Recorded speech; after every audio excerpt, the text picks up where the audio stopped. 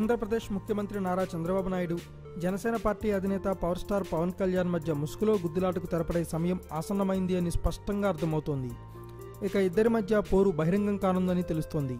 గత ఎన్నికల్లో బీజేపీ టీడీపీల కోసం ప్రచారం చేసిన పవన్ కళ్యాణ్ కొంతకాలంగా వారితో విభేదిస్తూ సొంత పార్టీ పెట్టుకుని వచ్చే ఎన్నికలకు సిద్ధమవుతున్నారు.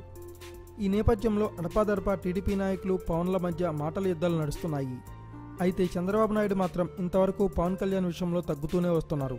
తమ నేతలను కూడా పవన్ కళ్యాణ్పై నోరు పారేసుకోవద్దంటూ వారిస్తూ వస్తున్నారు. కానీ సీఎం చంద్రబాబు నాయుడు తొలిసారిగా ఈరోజు అసెంబ్లీ సాక్షిగా జనసేన సేనాని పవన్ కళ్యాణ్కు సవాల్ విసిరారు. దీంతో ఇక ప్రత్యక్ష యుద్ధం మొదలవడం గ్యారంటీ అని తెలుస్తోంది. ప్రత్యేక ప్యాకేజీకి కేంద్ర కేబినెట్ ఆమోదం తెలపడం పోలవరానికి పూర్తి నిధులు కేటాయించడం కేంద్రం అంగీకరించడంతో అందుకు ధన్యవాదాలు తెలుపుతూ ఏపీ అసెంబ్లీలో ఈరోజు తీర్మానం పెట్టారు. ఈ సందర్భంగా చంద్రబాబు ప్రతిపక్ష పార్టీ వైసీపీపై ఆగ్రహం వ్యక్తం చేశారు. అంతేకాదు రెండు వేల పద్నాలుగులో తమకు సహకరించిన జనసేన అధినేత పవర్ స్టార్ పవన్ కళ్యాణ్కు సూచనతో పాటు సవాల్ చేశారు.